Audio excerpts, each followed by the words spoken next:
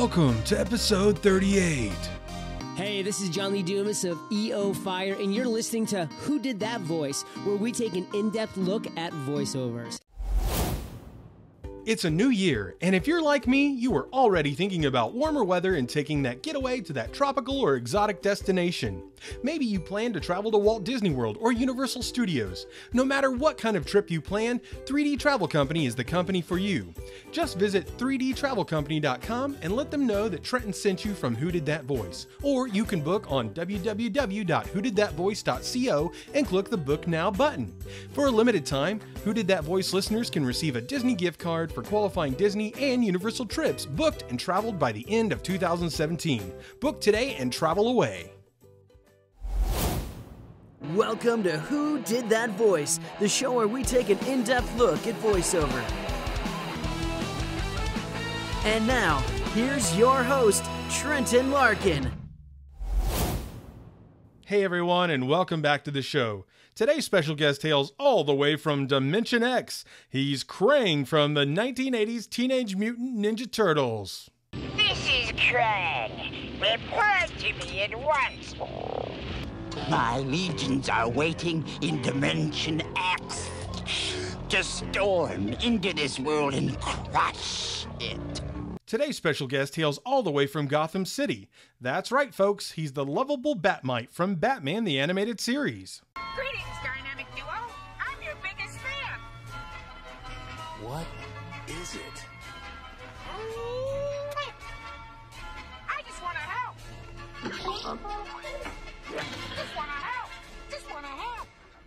If you're a fan of the show TaleSpin, then you will probably remember this character. Wildcat was the jolly, kind hearted, inventive mechanic. Yeah. What if you wiped out and fell down and bumped your head or something? Now sit back, relax, and enjoy the show. Hey everyone, and welcome to another episode of Who Did That Voice. Today on the show, we have Pat Fraley joining us. Pat, thank you so much for coming on the show today. It's just a pleasure. I I love interviews because I'm an actor and we all, you know, like to talk about ourselves. So it works out for me. Well, Pat, it is an absolute honor to have you on the show today. Thank you so much for giving us some of your valuable time. You know, the very first thing we always like to do when we start our show off is to get a little background on who our special guest is. So, if we could learn a little bit about who you were growing up into the man you became, and how did you get into voiceover? Well, I was a middle class, or still am, a middle class white boy. I grew up in Seattle, Washington. Uh, I don't recall a time, Trenton, in any age where I thought, "Oh, I'll be a uh, a pilot or a fireman or a policeman." It was always a performer. I can't remember a time when I didn't. In fact, I've been a teacher performer for 44 years. And when I was four years old, I was the kid that was teaching the other kids how to die really good. no, no, arch your back and kind of spit some. So, of course, they loved shooting me because they got a real good kill when we were playing Cowboys and Indians. and uh, so, what a what a boy did when he wanted to be a performer was going to theater. That was the only thing available when I was a boy because uh, this was the '60s, and so I went all through college and got a master's in fine arts and acting all the way through and started doing Shakespeare. And uh, I was encouraged, by the way, by my family. My mother was such an encourager. She she was the one that goaded me on, and my father was behind me too. Not as much as my mom, but she, he was with it. Yeah. So I started my career in Australia. I emigrated right out of school. Why? Because you couldn't get a job in theater in those days when I got out, and uh, I wanted to do Shakespeare, so I went to Australia. I emigrated. I was the only American, young American there. Uh, Mel Gibson was there. He's American, but he was still in school. He's four years younger than I. So I was there, the only one. Didn't do a lot of American dialects, except when it came to doing voices. And I'll get to that. So here I am doing Shakespeare in a repertory company. And uh, they called the theater and asked for someone that does an impression of James Cagney. You know, Jimmy Cagney. Mm. And they went, "Oh yeah, we got a Yank in the company," because they figure we all sit around and do impressions of each other. That's what Americans do. So I went in. I was on the way out, and they went, "Oh, we like you." And I went, "Really? Why?" And they said, "Oh, you're so big. We can't get the other actors to be that big."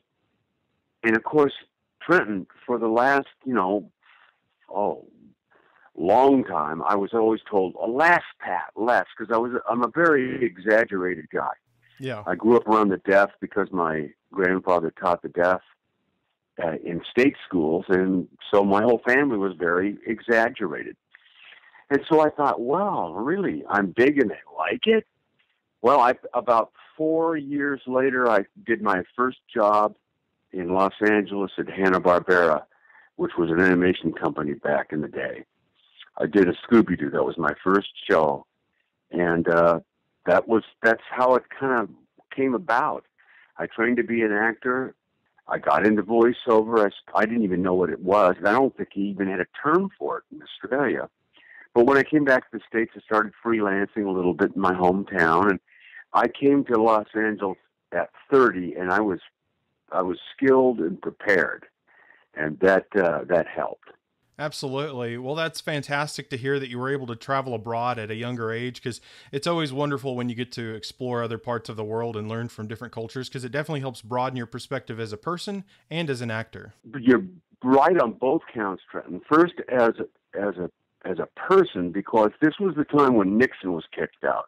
It was during the Vietnam War. It was winding down, and so um, it gave me a different perspective on America because you hear the good, the bad, the ugly from abroad. Yeah. Their news is different than ours.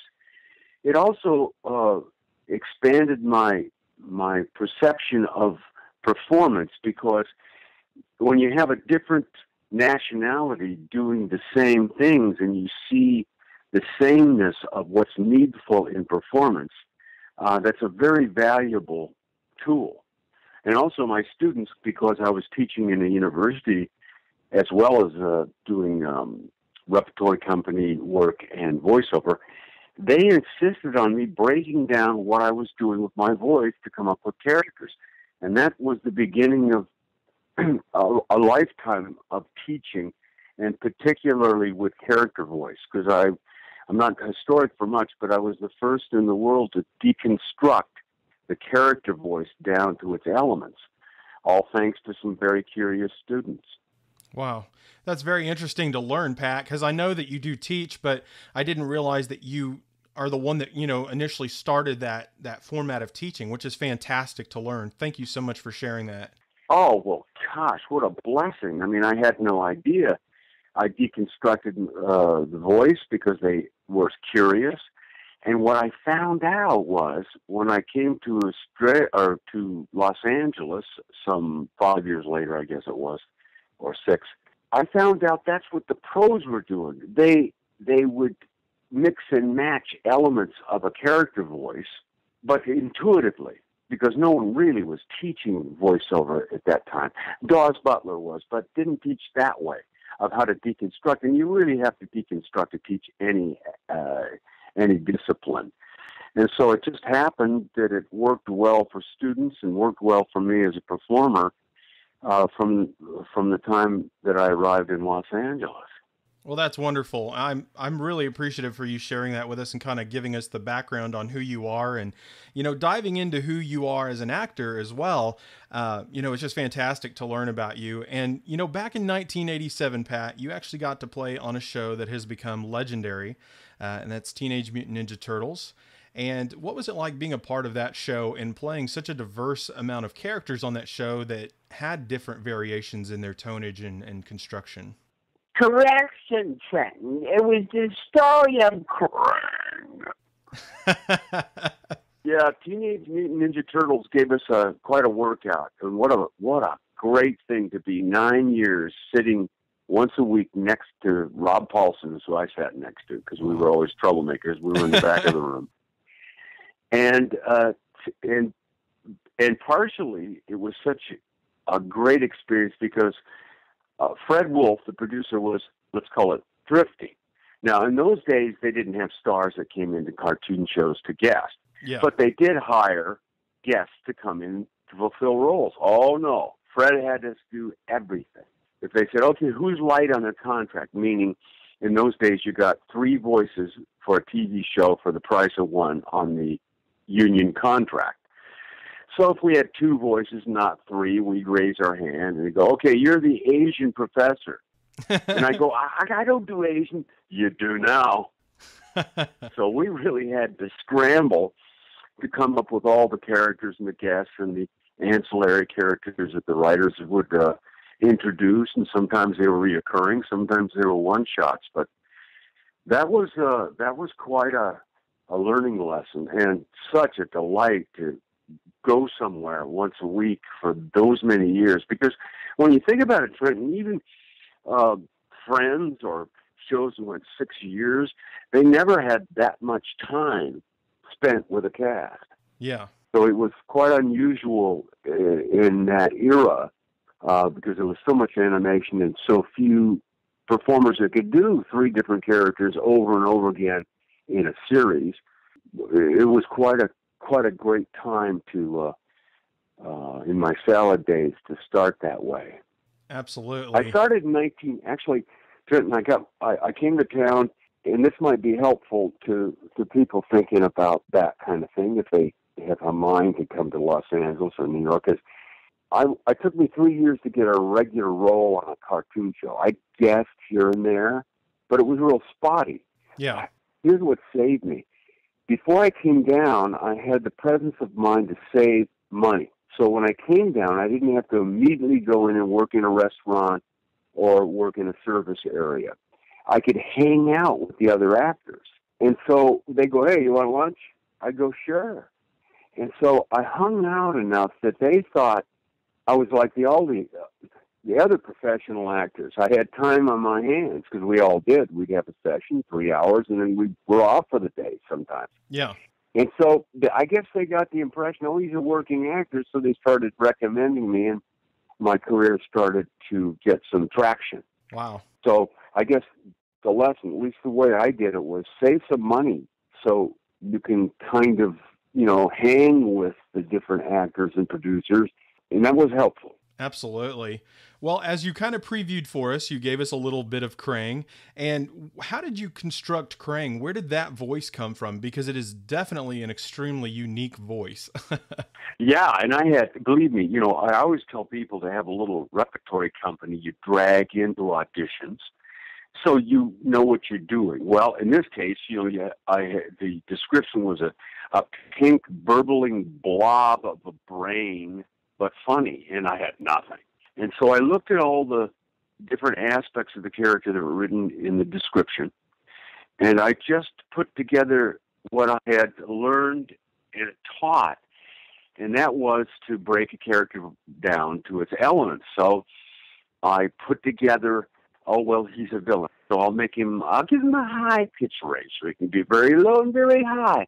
Oh a pitch characteristic he's a blob. So i'll make him kind of a a puffy pitch characteristic and place the voice in the back of the throat.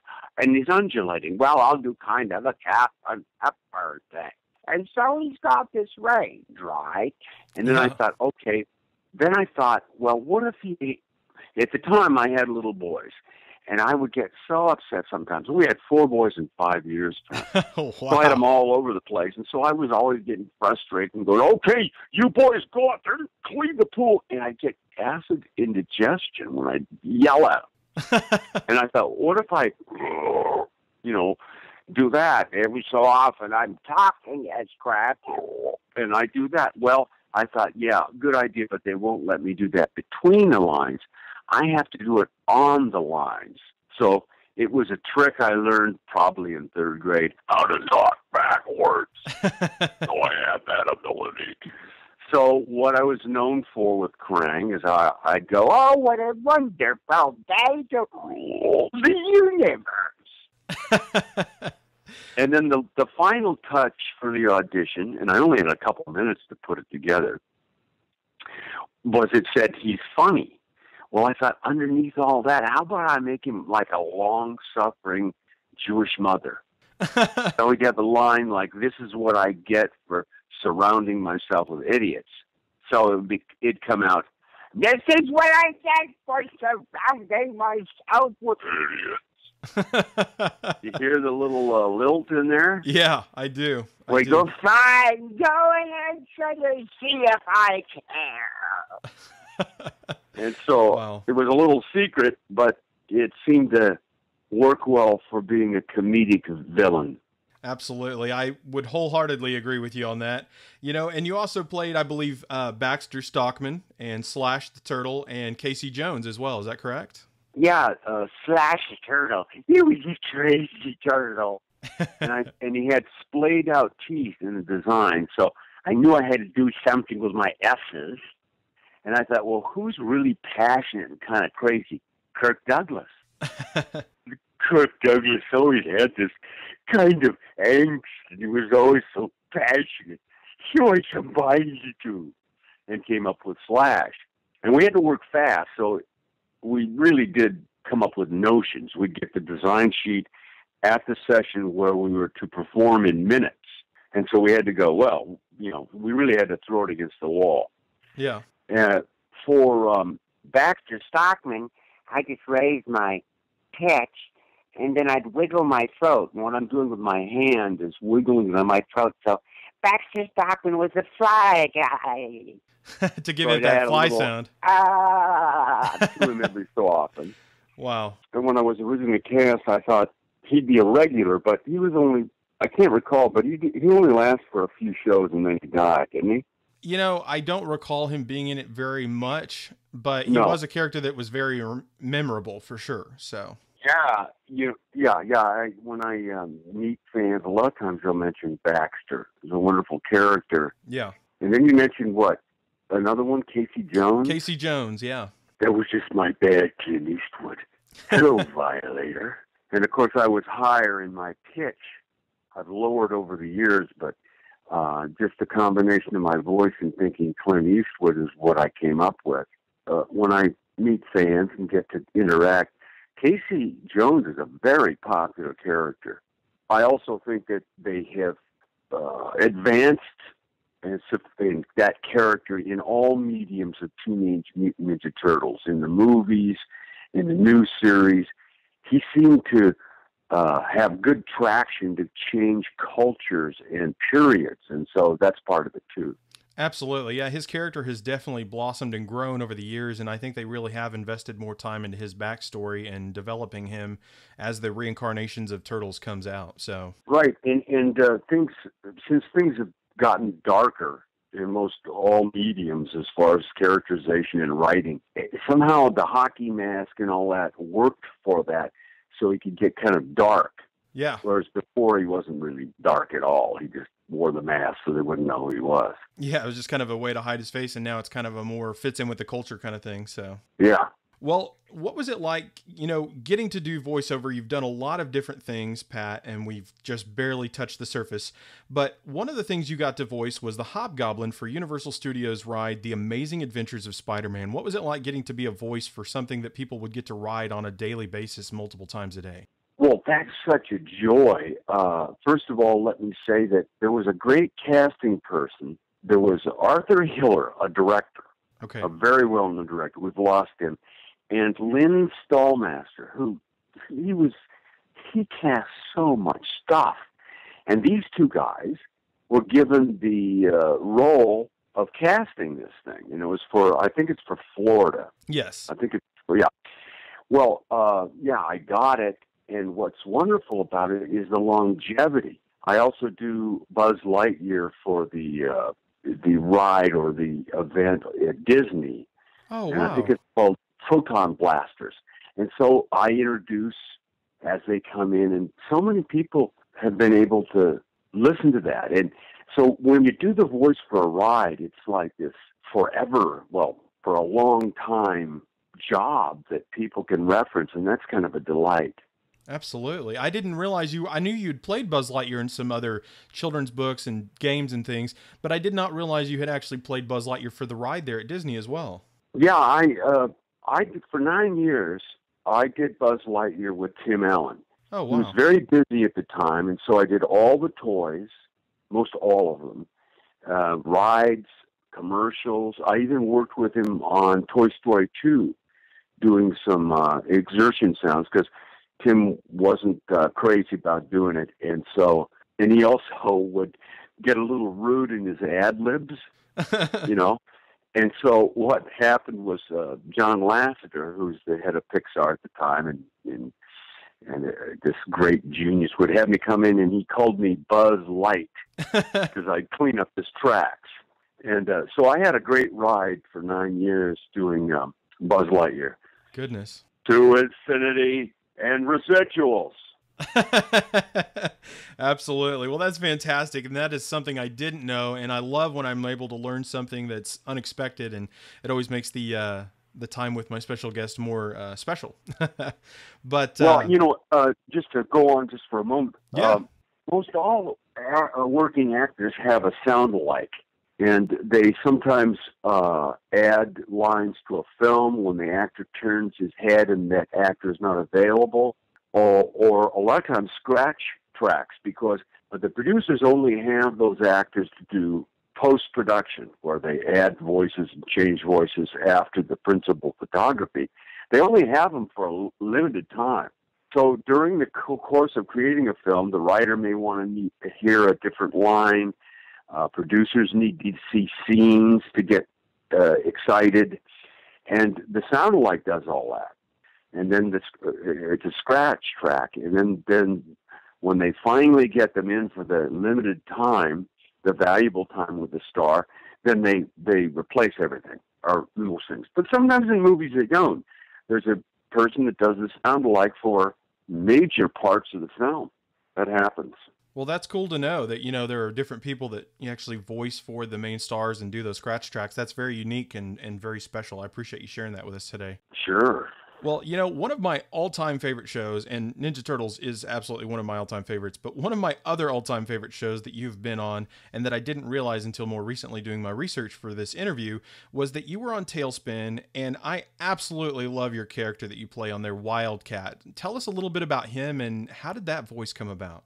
Well, that's one of my favorite shows too, Trenton, for a couple reasons. First of all, they were having a difficulty casting it because the character is a mountain lion, and he had a prognathic or jutting jaw that made him look like he would be big. And so everybody was coming in stupid, was it, and making him big. And I knew they had a problem, and I thought, well, what if he's naive instead of stupid? Yeah. and maybe his voice is very high. It's kind of below is just a or a banana. I forget. oh, look at a new uh, island on the map. No, that's guacamole. so I made him very simple and delightful and and kind of childish. yeah. Okay, and and I love doing it. And, and Disney gave me a lot of room to ad lib a bit and time for my character to put together thoughts. And here's why it's so meaningful to me, Trenton. About 20 years later, I started getting calls from psychologists and from fans who uh, were challenged.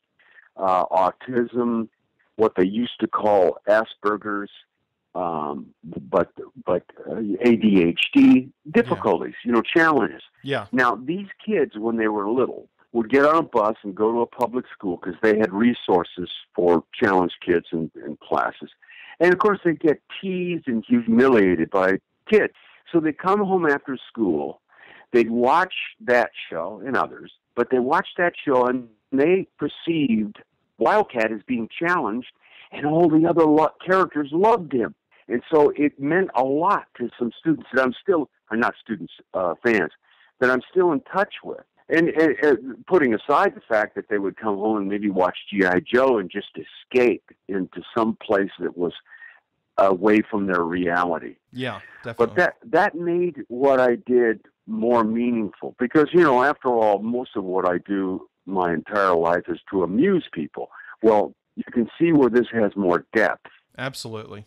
Now here's here's an added thing. I didn't know it at the time, but uh, the sound of Wildcat, and then there's another character I played, Lurky in Rainbow Brite. Oh, what a wonderful day in Rainbow Land. Here again, a simple character. Now, get this. I didn't know it, but what I was accessing, as actors do, their past and people they've met, and that that is a resource pool for coming up with things. Well, I grew up around the deaf. As I mentioned, my grandfather taught the deaf and blind as a superintendent of state schools in North Dakota and then Idaho. Yes. I was around a lot of deaf kids, and lots of them were challenged as well. And if you listen to the tone of a deaf person talking, where they they don't hear tone, and so they talk like this, well, you can hear that kind of and wildcat and lurking Yeah. tension. Yeah, I can. Now, I wasn't making fun of them. I was accessing what I knew, and so it it, it even enhanced and thickened my my interest in what ha- occurred. But it didn't come to me for years that that perhaps was an aspect of those characters. Sometimes the things that we end up doing, you know, in that in the world of acting when you're pulling from those different resources, you you just don't realize where the source came from, but it came through your life experiences. Yeah, and and you know, uh, as I mentioned, we had to work so fast and come up with ideas fast. that Yeah. uh, I didn't sit down and go, where did you get this and what? And I certainly had no agenda to make fun or challenge people. But here's the good news: those characters were beloved, and so they were never put down. And so that's one thing that uh, gives me a respite and uh, gives me pause to say, yeah, that's okay. Absolutely. Well, that's very wonderful. I'm glad that you were able to share that with us and that he is such a an important character to you and that he's meant so much to so many people, especially those who deal with certain challenges in their lives. You know, Pat, I've always wondered what was it like for you to work on Denver the Last Dinosaur? You know, dinosaurs were definitely big back in the 80s and uh, Oh, that is- yeah. that is one of my absolute favorite shows. The theme song for that was just absolutely wonderful. Yeah, Tom Burton, who produced it, was a musician. He wrote that as well. Well, that was an interesting circumstance because I was called in an audition, and he's a, I think, brontosaurus, right? Yeah. hmm Little head, big body. Yeah. Well, they said we want a big voice, and I said no. He's got a little head. That's where it comes from. Forget the big part. It's his head. And so I went, wowie, chips, wow, and went high, and they never really gave him full lines. He just had sounds and reactions, and so it was an unusual uh, circumstance to record. And it's the only time that I worked completely off the storyboards. In those days, they had storyboards. They still do.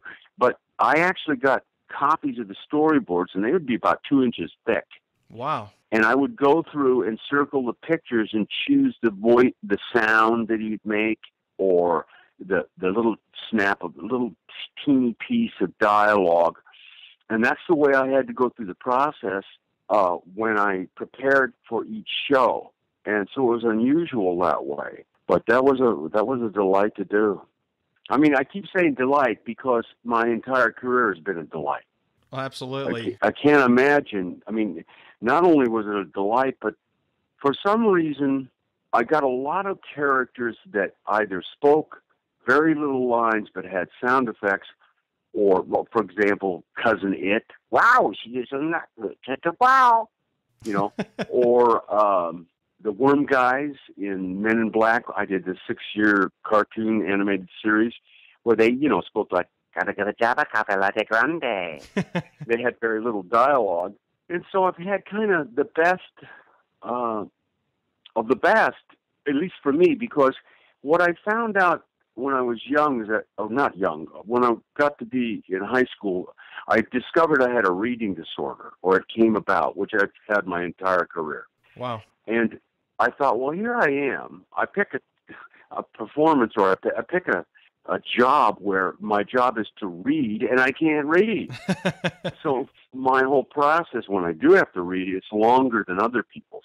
But what I discovered recently was, oh, I relate to sound, not words. And that's the difference. Is that, and so the sound of a word uh, and the onomatopoetic aspect of where a word sounds like what it is, buzz, slip, you know, and I would do that to all words, really is central to my modicum of success. Uh, certainly in animation, where it it becomes more evocative. I make the words juicier. So uh, that that that that's kind of an interesting uh, aspect to my career. I think, is that here's a guy that has a reading disorder that's had a flourishing career. Who knew? Absolutely. Well, would your reading disorder by any chance be dyslexia, or is it considered something else? it's stuplexic, which means I can't read, and then when I can read, I don't understand what the words are because I'm stupid. well, I, I have No, actually, so. actually, it's kind of it's a, I guess it's a behavioral aspect too. It's the way my mind works as well as my reading of words. Okay. I get ahead of myself when I talk, Yeah. and I that transfers or is connected with getting ahead when I'm reading a sentence, and so I have to uh, work it. It's kind of interesting because when I first came to town, and a lot of the work I did was on commercials, and ha- I had dialogue and or text, a lot of text. Well, I'd get in the studio and I'd realize as I'm right, reading a line that I'm going to make a mistake. I just knew it was going to happen. And so I would stop and go, hey, I've got an idea. Let me take that again. And I was lying. I was protecting myself. Yeah. So I go back to the beginning of the sentence, and by gosh, I would have a better idea. I guess the pressure, or you know, just you know, doing it a slight different way. I would also do things like I get in the middle of a, a sentence and I'd lose my diction. So I'm talking along, and I do that, you know, and I go and I'd stop and go, oh no, I got Henry Fonda disease. I have no consonants. Help me. And of course, they'd laugh. And then also, the third aspect of my reading disorder, or people that have one, is when they're reading a sentence, sometimes they'll they'll read it wrong, but make it make sense. Yeah. You know what I mean? I they do. change the syntax of the sentence, but when it came out, it makes sense. Yeah. Well, here's what happened, Trenton. I got this reputation for being ultra confident because it's a lot of confidence to stop in the middle and make a joke of what you're doing and then move on. That shows a confidence. Yeah. Humor shows confidence that you you can make fun of yourself. I also got an idea of being very spontaneous because I'd get good ideas in the middle of a sentence and go back. And uh, finally, uh, the the whole idea. Well, you get the idea. Yeah. I got this. Oh, because I changed words to that. Well, he works loose. I mean, he's not concerned about getting every word. Yeah, we'll get it the way we want it. if We want, but I like the way he did it. So I got this reputation, and it was all, uh, totally based on me hiding my my uh, inability and my, my challenge. And so when I found that out after a few years, I thought, well, I'll, I'll work that. Why not? I mean, the idea that they like it that I stop and make jokes, and they like it when I change my mind. So I I folded that into my my skill set, and then eventually, after about 15 years, I remember vaguely being in a session and I messed up a sentence, and I just stopped and went, "Look, you guys, I, I have this reading disorder. What are you going to do? Fire me? I already have a career." and they just laughed because they really. The one thing that is important for all of anybody listening with a reading disorder is that they don't really care. They just want to get the product good at the end. And working with stars my whole career, they always take more takes than we do. These we pros in it. And so that was an encouragement too that it's okay to take some time to enjoy yourself, to go back and chew it a line and make it right. It's a process. And so that helped me a great deal too. It gave me a confidence and so I wasn't fear based when I went into a session. Absolutely. Well, that is actually really encouraging to hear from you, Pat, because some of the struggles that you talk about are struggles I had growing up as a dyslexic, and um, Oh, so I really, I really appreciate that. yeah, gosh, and back back in the day, it was just that's just being stupid. Yeah. Really, they didn't have the term dyslexia or reading disorder or anything. No, they didn't. And I remember going uh, my first week. Uh, I was uh, given a, a scholarship and a living wage to go to school at Cornell University in the Master of Fine Arts program in acting. So here I am. I mean, you know, the pressure's on. They only took six of us out of the country. Wow. And so I, I remember trying to sneak o I snuck over to the speed reading class they had, uh, in a building where they had a little bar that would, would you'd load and would go down a page, and you had to keep up with what it would show. It had a little window of one line, and that was to teach you how to speed read. Well, I went in there, and after two pages, I just went, "Oh no, I couldn't read anything." I was trying because I thought, "Oh, now they're going to find out." But uh, somehow I was able to get through and get my degree. But uh, it it, it certainly was not based on my reading ability. But one final thing that I think is of interest, Trenton, is that, and I just wrote this to a student who said, I have a problem reading. And I said, you know what? Your process is going to take more time than others. You're going to have to rehearse more. But the good news is that you can not rely on reading skills for acting skills. Absolutely a good reader can read and make it sound like they know what they're reading when they don't. But a person with dyslexia or reading disorder has to understand what it is and sort of make it a dance. Yeah. You get that? You kind of have to get the rhythm of the line and then you can do it. Do you get that? Yeah, absolutely. That yeah, t- totally yeah, makes yeah. sense. Yeah. It has to be sort of a song. Every line is sort of has its own rhythm and tempo and and so and, and meaning, and so I think it's a it's kind of an odd advantage. I I absolutely agree. yeah, I it really just do. is a matter of beating yourself up, which is not valuable, and also understanding your journey is going to be more difficult than others, perhaps, because you're going to have to read lines four or five times before you perform them. Yeah, absolutely. I, I used to do high school theater and I always had to work on my lines consistently because repetition was my key. So, yeah, yeah, me too. Hey everyone, I hope you've been enjoying today's interview with Pat Fraley. You know, sadly, this is the end of part one, but we will return this Sunday for the conclusion, part two, with Pat Fraley. You know, when he and I began chatting, I had no idea that Pat had a learning disability. It really hit home with me considering that I grew up with one as well. Dyslexia was always a real struggle for me. Maybe you struggle with a reading disability like dyslexia, or you struggle with something else. No matter what it is, I would love to hear from you.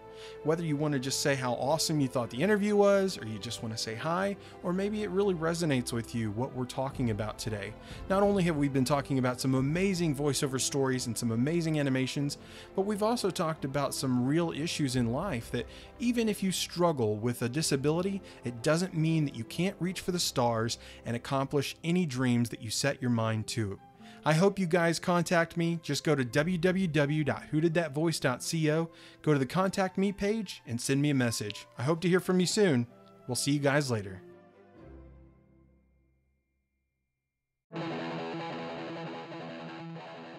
Well, everyone, that's all the time we have for this episode. I know it's sad, but we'll be back this Sunday for part two with Pat Fraley. Hey, do you ask yourself who did that voice? Well, if you do, go to our website, www.whodidthatvoice.co, and click on the Episodes tab. Choose an actor, pick their name, and see pictures from the different characters they've voiced in their career.